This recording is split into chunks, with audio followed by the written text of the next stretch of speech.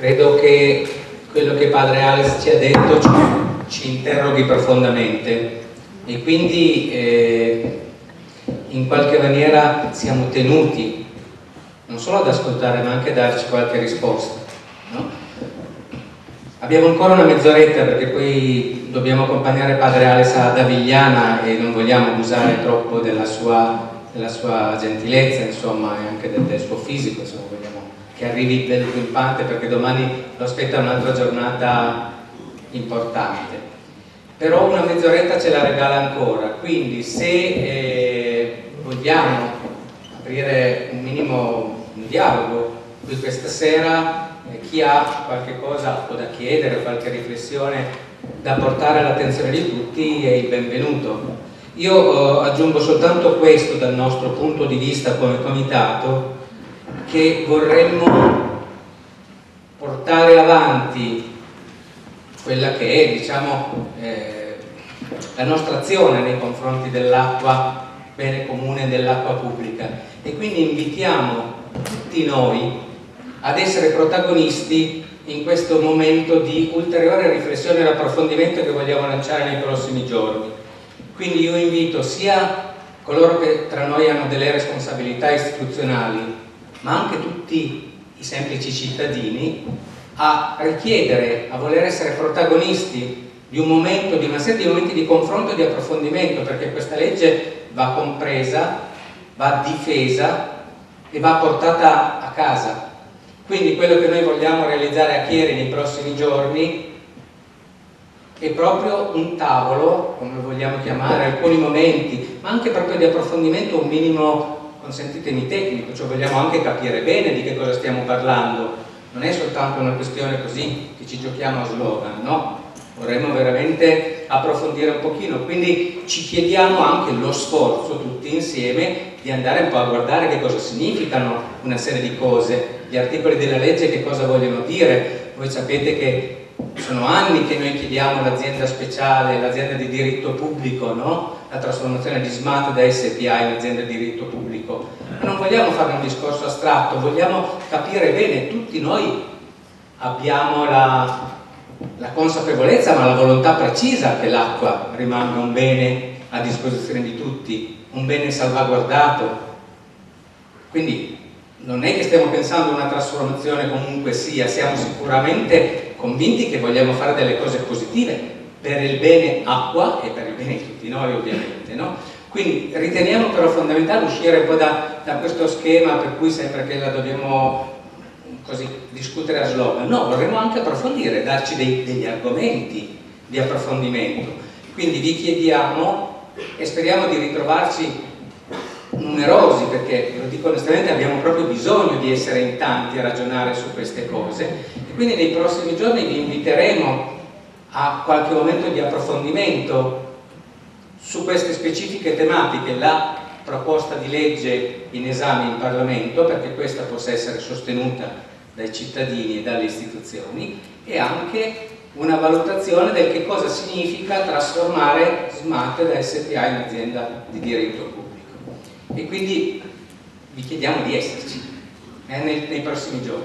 Quindi fatto questo appello come comitato rivolgo di nuovo l'invito a tutti coloro, che così vogliamo passare po' insieme e sfruttare fino in fondo la presenza di, di Padre Alex per, per diciamo, approfondire qualcosa. Ci sono ancora le nostre, le nostre giovani studentesse, scusa volevi aggiungere qualcosa? Io sì, vorrei aggiungere una cosa a questo, ma io penso che questa sera dovrebbe passare un pezzo di carta in giro dove ognuno che vuole davvero dare una mano al comitato metterci il suo nome, il suo email, il telefono per essere convocati perché altrimenti ne usciamo di qui e poi rimane. Io sarei molto concreto in questa chi, chi vuole potete passare una carta da una parte o dall'altra grazie del suggerimento, al tavolo giù in fondo potete, si può fare anche uscendo perché ci eravamo un pochino attrezzati, quindi ci sono i due tavolini laggiù, quindi chi vuole lasciare il suo recapito per poter essere contattato e poi approfondire insieme è il benvenuto. Scusami. Prego, vieni solo a fare il microfono così ti sentono. Allora, io volevo chiederle se non pensa che ormai sia tardi per cambiare la situazione in modo radicale, nel senso che moltissime persone e sempre di più nel mondo e in Italia stanno diventando sempre più insofferenti sulle tematiche veramente importanti, per esempio anche tra i giovani. Moltissimi non vengono sensibilizzati nel modo giusto nonostante ci siano campagne, comunque i professori nelle scuole ne parlino. Cioè, ehm, c'è sempre un atteggiamento non curante nei confronti dell'acqua, ma anche in altri ambiti. Lei cosa ne pensa?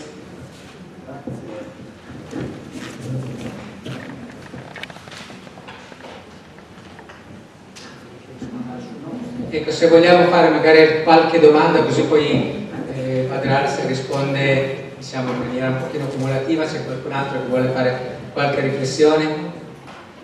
Prego. Se volete gentilmente anche presentarvi perché le, così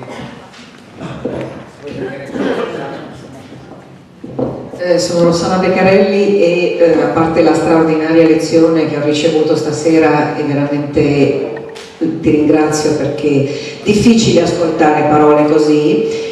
Eh, mi pare che in questo momento l'urgenza massima sia concreta e organizzativa. Quindi siccome in, in, sala ci sono le grandi rappresentanti del Movimento dell'Acqua di Torino che naturalmente hanno svolto in questi anni un lavoro straordinario e preziosissimo e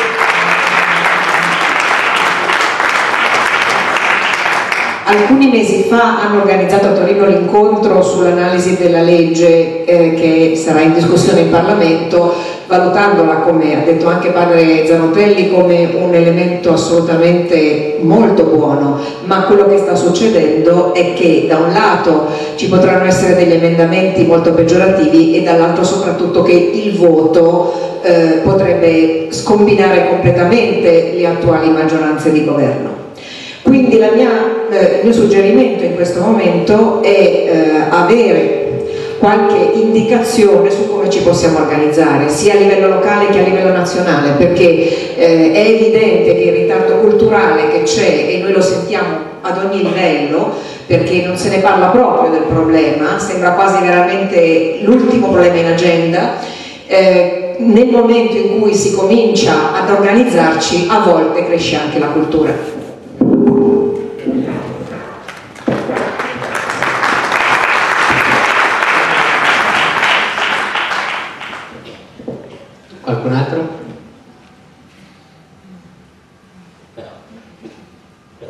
Siate timidi che questa occasione non si ripresenta in fretta.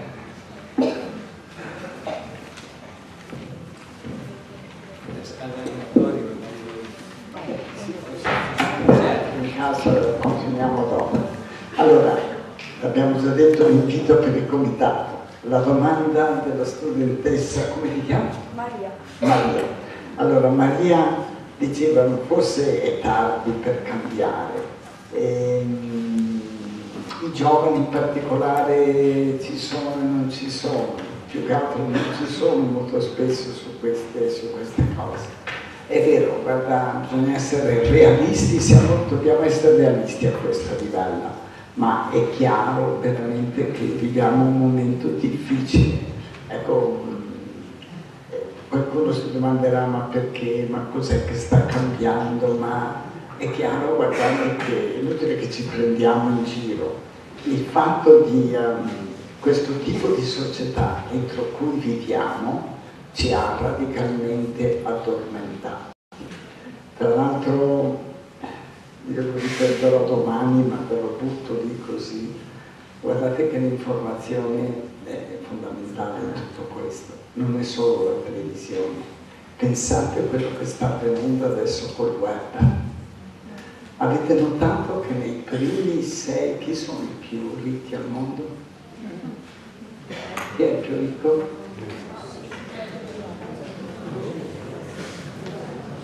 È possibile più piccolo mondo. Amazon. Amazon, bravo, Bezos. E Bezos il primo poi notate che nei primi sei più ricchi al mondo, quattro sono i giganti del web. I primi sei più ricchi, quattro sono i giganti del web. Vi rendete conto di quello che sta avvenendo? Io ve lo, ve lo dico semplicemente citandovi un testo che è uscito eh, questi giorni, I nuovi poteri forti. Sentite quello che dice. Gli algoritmi possono semplificarci la vita, metterci in contatto con compagni delle elementari che non sentiamo da decenni, consegnarci la spesa sulla porta di casa in poche ore. Molto presto saranno in grado di guidare l'auto e localizzare i tumori. Ma per fare tutto questo, gli algoritmi ci prendono continuamente le misure e decidono al posto nostro. E quando deleghiamo il pensiero agli algoritmi, in realtà lo deleghiamo alle grandi aziende che li controllano. Capite che razza di problema ci sta sotto e capite come uno dei problemi centrali anche per è proprio il sistema dell'informazione e quello a che cosa conduce poi. Davvero sono loro che ci controllano, guardate che ormai tante delle elezioni sono loro che le decidono. Avete visto per Trump, avete visto Bolsonaro, e avanti hanno un'influenza enorme a questo livello. Per cui capite come siamo dentro un sistema che davvero non so come dire, mm, non solo ci fa addormentare, ma ci toglie quasi la possibilità di ragionare, c'è qualcun altro che ragiona al posto nostro. E capite che razza di problema. Qui dobbiamo incominciare a capire che dobbiamo riprendere coscienza e cominciare forse a spegnere un po' questa televisione che è veramente una, ma spegnere anche tutti un po' questi aggeggi che abbiamo e cominciamo a leggere, cominciamo a confrontarci, a metterci insieme. Notate, il Papa è appena uscito con il documento molto interessante che dobbiamo passare dalla network, cosa che chiamava network communities, eh, dell'highlight, invece a vere e proprie comunità. Cioè, mai come oggi siamo stati connessi e mai possiamo così disconnessi Penso che la cosa fondamentale oggi per cambiare è il metterci insieme, ragionare, leggere la realtà con i nostri occhi, con gli occhi dei media, leggere per quello che avviene, poi metterci insieme e formare movimenti popolari. Guardate che solo questo può cambiare e quindi è tutto uno sforzo che ci viene richiesto, soprattutto a voi giovani, Maria guarda io dico ai ragazzi che è importante un po' che incominciano a usare la loro testolina, meno quel chissà, perché entri altrimenti nel pallone. Quindi davvero qui ehm, il pessimismo potrebbe essere, qualcuno direbbe un sano pessimismo, no, io sono davvero convinto che le cose possono cambiare, ma tocca a noi se c'era un, questo è un bel problema perché noi pensiamo sempre guardando in su, se darci tu una mano, no, lui te lo punta in giù e dice voi per favore datevi da fare, cioè tocca, se i problemi che abbiamo li abbiamo creati noi, tocca a noi uscirne fuori. Ecco quello che e qui purtroppo, scusatemi, io sono, sapete, sono un prete, sono un missionario, quindi sono appassionato al Vangelo ma vedo nelle chiese un tradimento enorme. Cioè queste incapacità fanno culto, ma sono incapaci di legare il culto, la fede alla vita.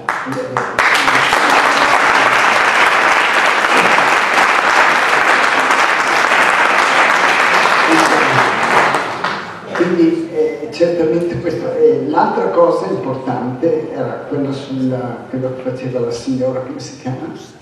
Rossana. Rossana, grazie, davvero molto bello quello che hai detto, chiedendo soprattutto la concretezza, come organizzarsi. Come organizzarsi eh, tocca a noi anche qui. Come? I miei suggerimenti sono, prima di tutto penso che il momento adesso della legge è il momento quindi di fare pressione sui partiti. Quindi chi voi, coloro che voi avete votato e sapete che avete votato, chiamato in causa. Se avete il telefono, se avete l'email, se avete dicendo oh cosa stai facendo? Il chiedendo il controllo sul voto, noi dobbiamo sapere, una delle cose per cui io mi sono battuto, anche se perdiamo in Parlamento sulla legge, e sarà bello, per me sarebbe un bel smacco, ma almeno sapremo ognuno, e voglio sapere ognuno dei parlamentari come ha votato. E quindi è importante anche il controllo parlamentare, guardate che è fondamentale, inutile che noi deleghiamo, la democrazia è una fatta di delega, guardate in questo senso noi siamo molto diversi dagli americani, gli americani cavoli votano un, un proprio rappresentante, hanno il suo telefono, qualsiasi cosa che fa in congresso Maravam e telefono, sono migliaia e migliaia di telefonate che le arrivano ogni giorno di protesta oppure di approvazione, noi questo non ce l'abbiamo, dobbiamo incominciare a riscoprirlo, perché altrimenti guardate non si va da nessuna parte. Quindi il controllo e la pressione sui deputati, sui senatori devono essere controllati in, questa, in questo periodo, a tutti i livelli, perché è fondamentale che riusciamo per fare questo io direi a livello organizzativo dobbiamo prendere sui sindacati, molto sibillini a questo livello, perché hanno paura del lavoro, perché non è il problema dell'acqua, ma poi i lavoratori che lavorano nell'acqua, c'è tutto, difatti quando hanno fatto anche le audizioni nella, nella, nella le audizioni lì alla Commissione Ambiente sono stati molto molto vaghi sia CGL come eh, per cui io sto adesso ho chiamato anche Landini l'altro giorno dico oh, per favore vogliamo sentire il CGL che si schiera, cioè cominciare a chiamare i sindacati in causa su questa roba e quindi prendere a questo livello. L'altra cosa sono le grosse organizzazioni cattoliche, ci hanno dato una grossa mano per il referendum, parlo delle ACLI, della GESCI, dell'Azione Cattolica, hanno fatto un grosso lavoro, anche le parrocchie, hanno lavorato effettivamente durante, penso che se siamo riusciti a, ad arrivare a qualcosa è grazie a loro, quindi la richiesta anche voi che come comitato a tutte le parrocchie di farlo questo, di parlare in parroci in chiesa di questa roba, perché hanno i fedeli la domenica, se, se tutti ci, ci muoviamo le cose poi si muovono Altra cosa fondamentale, penso io continuerò a farlo in questi giorni, è che dobbiamo chiedere alla conferenza episcopale di esprimersi.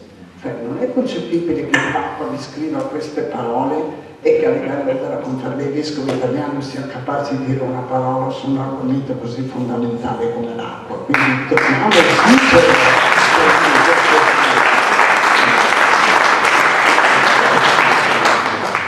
Altrettanto io penso che e chiedere, siccome c'è silenzio davvero, io ho notato un silenzio stampo che fa paura sull'acqua, l'ho detto anche durante l'audizione che ho fatto, dico per favore voi come commissione eh, datemi da fare perché qualcosa entri, cominci un dibattito in televisione, eccetera, ma anche a livello locale, cominciare a chiedere ai giornali, di cominciare a parlare di questo, perché non se ne parla e se non se ne parla guardate non si va da nessuna parte, quindi tutto l'aspetto anche giornalistico secondo me è fondamentale. E poi chiaramente c'è tutto il problema di noi cittadini e anzi in questo senso penso che sarebbe importante anche proprio in vista della, de, della legge eh, di vedere anche esperienze, io ho visto tantissime, pensate, eh, in Campania abbiamo dei comuni che anni e anni che stanno resistendo, per esempio non hanno consegnato l'acqua alla società a cui dovevano consegnarla e hanno resistito il proprio con la gestione pubblica dell'acqua. Ricordo Piedemonte, come si chiama? Rocca Piemonte, Rocca Piemonte, qualcuno lo conosce? Rocca, ma no, è Rocca Piemonte. Rocca Piemonte, infatti, ero presente proprio, ho assistito a questa cosa, invitato in comune quando è arrivato la Gori, che gestisce privata, che gestisce a prendere le chiavi, c'è stata la gente che ha preso le, le persone della Gori, di questa azienda, le ha spartute nelle macchine fuori di qui, li ha cacciati via proprio, non sono più rientrate, finora hanno ancora in mano l'acqua, la gestiscono loro Dobbiamo incominciare dal basso, si parla di disobbedienza civile, ma cavolo sull'acqua dobbiamo incominciare a prenderla seriamente questa roba delle persone che hanno il coraggio davvero di esporsi. Quindi vedete, sono tutti metodi organizzativi, se volete, che dobbiamo un po', un po riprendere un po' tutti insieme.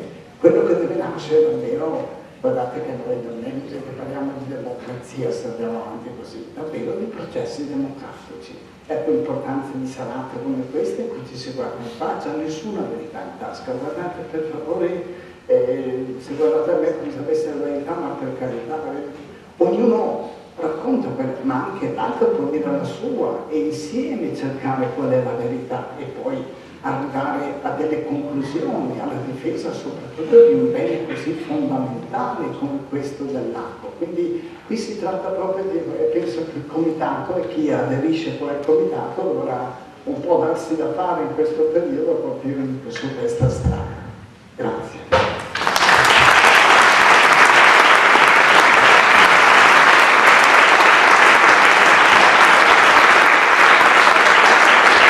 Vorrei cogliere l'occasione per dare un momento la parola a Mariangela Rosolo nel Comitato di Torino per darci un suo saluto, un saluto del Comitato.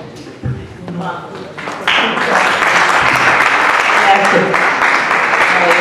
veramente grazie al padre Zanotelli per averci regalato questa serata veramente straordinaria che ci rafforza, che ci entusiasma per andare avanti. Peccato che il Comune a cui abbiamo chiesto molte volte di adottare una delibera politica di indirizzo per l'acqua bene comune, per la trasformazione della nostra azienda che è una società per azioni smart eh, finalizzata al profitto che, che ne sia stato eh, l'esito referendario eh, qui purtroppo non siamo riusciti ancora a convincere i nostri amministratori a fare almeno quest'atto di indirizzo culturale, prima ancora che politico.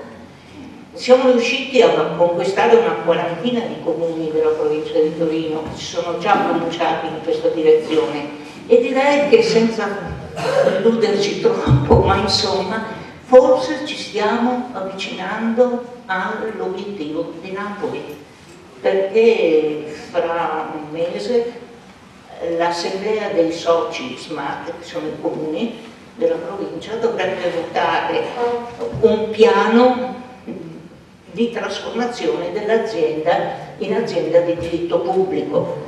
E naturalmente viene fuori la storia dei costi e benefici. Come? Se tutte le parole che ha detto stasera padre Gianotelli non esistessero. Facciamo i conti e noi vorremmo anche che si facessero questi conti, perché quando un'azienda fa un sacco di utili come la nostra azienda, in cinque anni gli utili sono aumentati del 160%. Come? Aumentando la tariffa del 28%. Neanche il gas, neanche l'elettricità è aumentata così tanto negli ultimi cinque anni. Si fa presto a far soldi in questo modo, eh? Non occorre managerialità. Spremi i soldi delle tasche dei cittadini, li metti in tasca e magari non fai nemmeno tutte le opere che hai detto che avresti voluto fare con quei soldi perché loro stessi, la Smart, che è un'azienda sana, brava, eccetera, e però la stessa azienda riconosce di non riuscire a investire nemmeno tutti i soldi di cui dispone in un paese in crisi come questa, dove in Italia le pensioni, lo Stato sociale e tutto, hai i soldi e non riesci a spenderli. Perché? Perché il fine è un altro, li devo mettere da parte. Perché la finalità di quell'azienda, essendo una società per azioni, il fine è il lucro, è il profitto. E finché non cambiano quelle teste, continuerà così, quindi bisognerà anche vedere che la direzione di questa azienda uh, comincia a cambiare anche idea.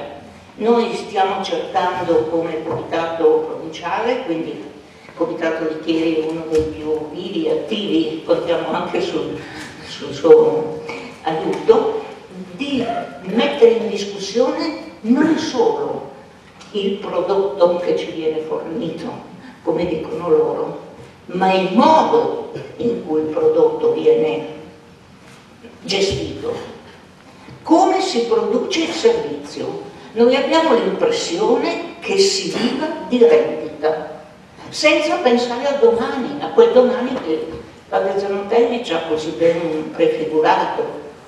Se i cambiamenti climatici, se il riscaldamento del pianeta, se eh, lo spreco idrico, abbiamo fatto delle ricerche, abbiamo denunciato che preleviamo nella provincia di Torino, la nostra azienda preleva più il doppio praticamente di quello che ci serve, il resto viene sprecato.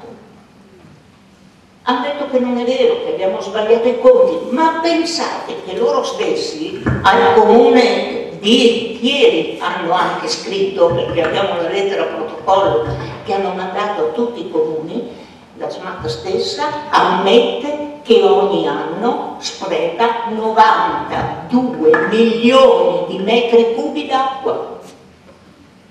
Sono due laghi di Avigliana svuotati ogni anno.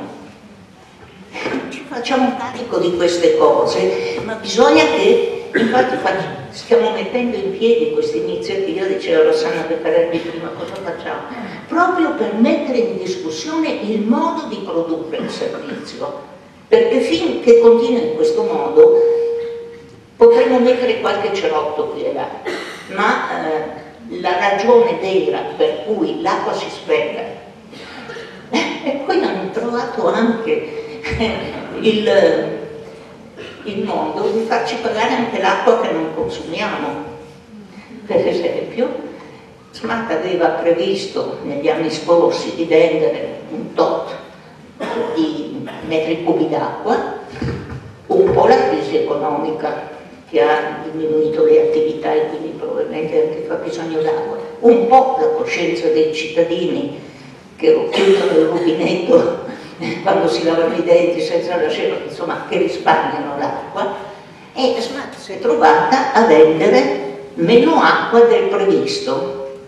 E che cosa ha fatto? grazie poi anche all'autorità nazionale, ha detto io prevedevo di incassare 100, incasso 90 perché voi avete consumato meno acqua, fa niente, pagatemela lo stesso. Nelle vostre bollette c'è stato fino all'anno scorso una voce che si chiama Conguaglio anche 2012, attraverso il quale in tre anni SMAT si è incassata 45-46 milioni di euro, facendoci pagare l'acqua che non abbiamo consumato.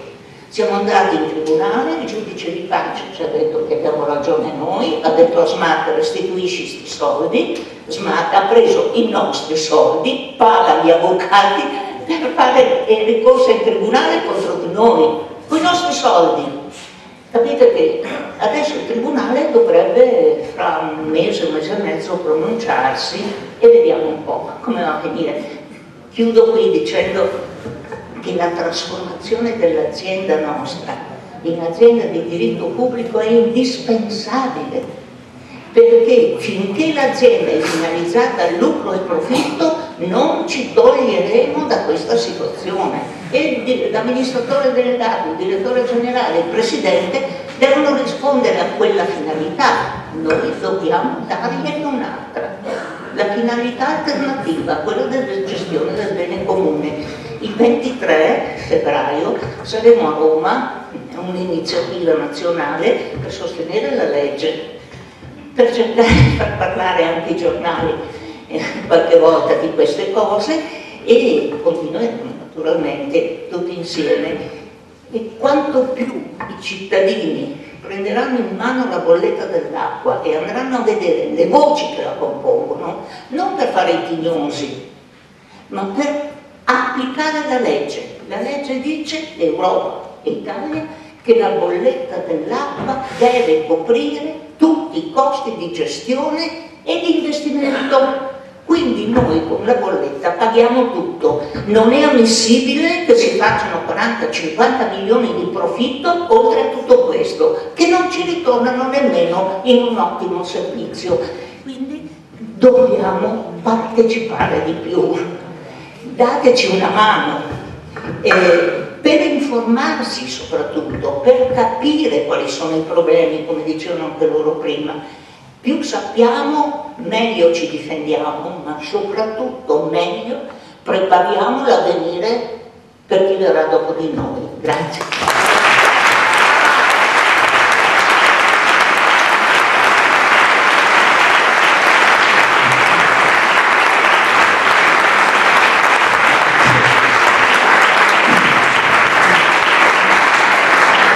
Allora, eh, concludiamo proprio partendo queste osservazioni. Prima di tutto un grazie davvero al Comitato di Torino, ma anche a tutti i comitati per il lavoro che avete fatto, è veramente importante ed è interessante anche che siamo riusciti, la cosa è la prima volta penso in Italia, che siamo riusciti a mantenere dopo il referendum, dopo nonostante che abbiamo vinto, eh, non abbiamo ottenuto nulla, i comitati hanno continuato a lavorare. Dentro anche un quadro nazionale, abbiamo un forum a Roma che eh, fa un po' da, da, da neanche portavoce, ma aiuta un po' a tenere insieme un po' tutto. Questo è veramente straordinario, di solito ci spacchiamo, meno va per mentre è stato molto bello questo e quindi un grazie davvero. Allora, io volevo ritornare su alcune cose che sono state dette. Prima cosa, si parlava prima della dispersione dell'acqua. Penso che una delle cose fondamentali su cui bisogna pensare eh, non è soltanto gli sprechi che facciamo, sono tanti, ma il problema dell'agricoltura. Buona parte dell'acqua buona che abbiamo la usiamo per l'agricoltura è giusto? È chiaro, ma perché non usiamo per esempio le acque reflue per l'agricoltura? Ma come facciamo a usare l'acqua buona che sarà? L'avremo sempre più scarsa questa. Noi stiamo sciupando un sacco di roba, soprattutto l'agricoltura industriale, ma anche va dentro tutto quello che è l'allevamento di polli, di galline, è incredibile la quantità. Per fare, mi sembra, un chilo di carne ci vuole 9.000 litri d'acqua, quindi capite un po' che razza di... di è tutto un, un problema dell'agricoltura grosso. Io penso che dobbiamo lentamente ripensare come usare le acque che almeno che sono utilizzabili, a livello agricolo per esempio, invece di perché altrimenti è vero, vuol dire sciupare tanta di quella roba e sul risparmio diventa fondamentale, dobbiamo davvero educare un po' tutti al risparmio. Seconda cosa importante che usciva era quella del problema del, dei prezzi sull'acqua, che oggi sono dettati dall'authority. Nella nuova legge noi, e questo è un altro punto di discordia grosso sulla legge, noi stiamo chiedendo invece che la decisione del costo dell'acqua non venga da ARERA, ma venga data al Ministero dell'Ambiente, cioè passi in altre mani. L'ARERA sappiamo come fa, guarda agli interessi, punto e basta, e non è giusto, cioè eh, vuol dire tradire tutto quello che il referendum ci sta dicendo. Questo è entrato anche questo nella legge, quindi guardate che la legge così come è un po' una bomba esplosiva, ecco perché sarà attaccata da tutte le parti, perché mette in discussione tutto un sistema che dobbiamo per forza rimettere in discussione se vogliamo obbedire alla volontà del popolo italiano, è stato chiarissimo nel referendum, quindi eh, dobbiamo in questo senso muoverci. Allora, l'altra cosa importante su Torino, secondo me, se davvero fra qualche giorno si ritroveranno i sindaci a decidere, allora per favore penso che voi non venite tutti semplicemente da Chieri, venite da vari paesi, cominciate a premere sui vostri sindaci per dire oh, cos'è che vai a votare. Se sentono la pressione popolare, cavoli se incominciano a votare in maniera altra, quindi diventa fondamentale pressione sui primi cittadini perché sappiano che cosa vanno a votare lì e quindi ecco la, ecco la democrazia, ecco la, il prendere dal basso, è quello che cambia le cose, quindi è, in questo spirito secondo me che dobbiamo davvero muoverci. È un momento, guardate, duro e difficile, io lo so per tante ragioni, so che tanti di noi possiamo anche essere scoraggiati, dice tanto non lo teniamo in Non è vero. Io sono davvero profondamente convinto, guardate, che la speranza viene da noi. Cioè, io ho questa sensazione forte che mi porto dentro, che le cose, i guai li abbiamo combinato noi uomini, non c'entra Dio, non c'entra questo mistero che ci sta attorno, chiamatelo come volete voi, ma i problemi sono nostri, li abbiamo creati noi e quindi dobbiamo risolverceli noi. Il problema è che siamo davanti adesso a, davvero a due precipizi spaventosi. Uno è chiaramente quello dell'atomico, guardate che Andate a rileggervi la, la conferenza stampa di Putin a fine anno, dice che siamo prossimi a una guerra nucleare. Guardate che arriveranno tra poco in Italia quei missili contro cui abbiamo tanto combattuto, missili atomici, COMISO, si risponderanno tutti, abbiamo già firmato per questa roba. Gli Stati Uniti è uscito dal trattato ILF dell'87, la Russia adesso altrettanto verso gli Stati Uniti e se riusciamo anche noi e capite un po' che razza di situazione. Guardate che la situazione nucleare è davvero brutta. Questo è un l'abisso che ci attende e voi sapete che abbiamo almeno 20.000 bombe atomiche. Eh? Su questo possiamo far saltare il pianeta per aria, cioè l'uomo è diventato Dio.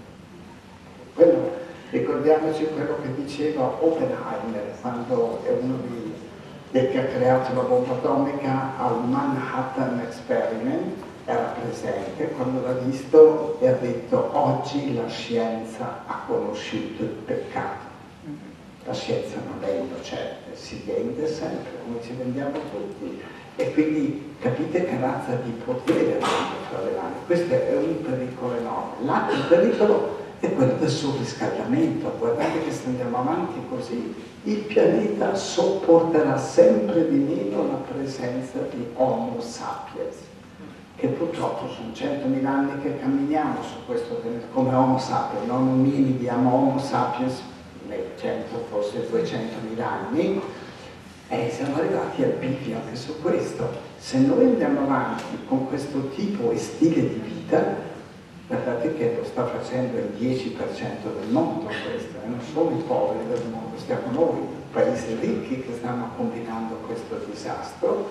Guardate che possiamo arrivare al punto in cui il pianeta non sopporterà più Homo sapiens che purtroppo per me è diventato Homo demens. Siamo demenziali siamo impazziti. Ecco perché c'è bisogno di un ripensamento, come diceva ai ragazzi, alle due ragazze stasera, la mia e la compagna, di, che, di cominciare a capire che siamo è follia la nostra e dobbiamo cominciare a tornare a ragionare con i piedi per terra e a vedere come uscirne fuori dai problemi. Penso che l'acqua potrebbe costituire davvero il primo segnale di una grande, se otteniamo questa vittoria, che qualcosa sta cambiando. Tocca a noi. Buon lavoro a tutti voi.